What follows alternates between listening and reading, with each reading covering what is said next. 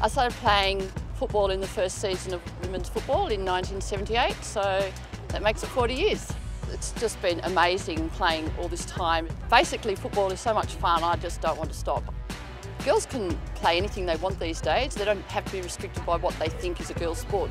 Football is a girl's sport. Women's football is not new in Tasmania. It's been going for 40 years and it's just getting bigger and bigger.